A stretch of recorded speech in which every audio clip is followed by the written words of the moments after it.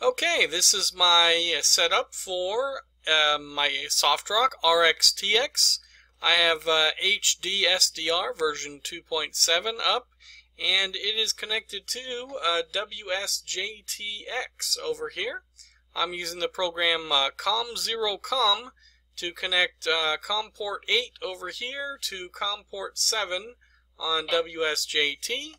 And uh, sound card configuration um, I've got multiple sound cards on the computer, so uh, I've got the line in from the radio going to a USB audio um, codec here, and then TX input from the microphone is this uh, virtual VB audio virtual cable, and then the actual TX to the radio is this secondary output which is physically connected to the RX TX.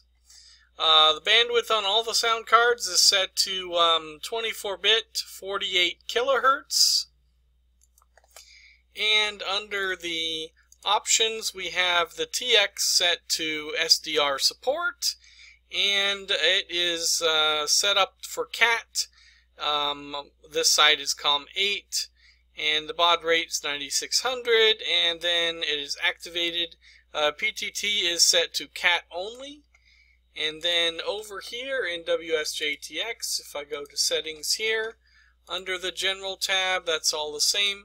Radio is set up for Kenwood TS2000, which is just a generic um, uh, CAT communication protocol that they both understand. Uh, COM7 9600, all default here.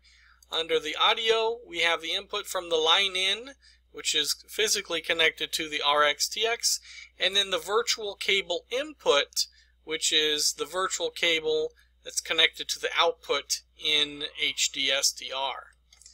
And um, over here we can click the tune button and it will actually key up the HDSDR keying the SoftRock. So here's the configuration and it took a lot of troubleshooting and time to get here.